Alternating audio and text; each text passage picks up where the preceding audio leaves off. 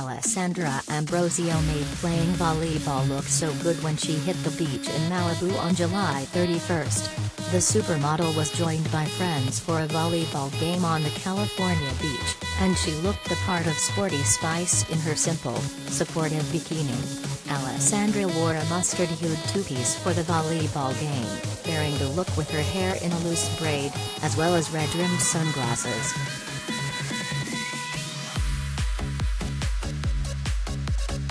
It's been quite a summer for Alessandra, who has been photographed in various bikinis over the past few weeks. In mid-July, Alessandra took a vacation to the Amalfi Coast, where she rocked a strapless swimsuit to take in the breathtaking views. She posted various photos on Instagram to show off the most amazing parts of her overseas getaway.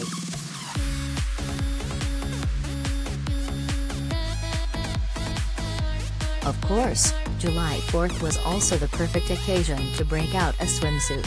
Alessandra celebrated the holiday weekend in a red, white and blue string bikini, and posted a photo of herself sunbathing on another vacation. Alessandra wasn't even in the US at the time, she was vacationing in Turkey, but she still made sure to give a nod to Independence Day with her swimsuit.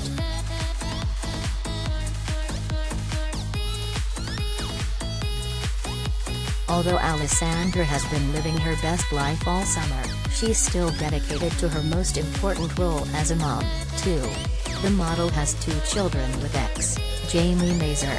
The pair's daughter, Anja, was born in 2008, followed by a son, Noah, in 2012. Although she and Jamie never married, they were engaged for 10 years before their split in 2018.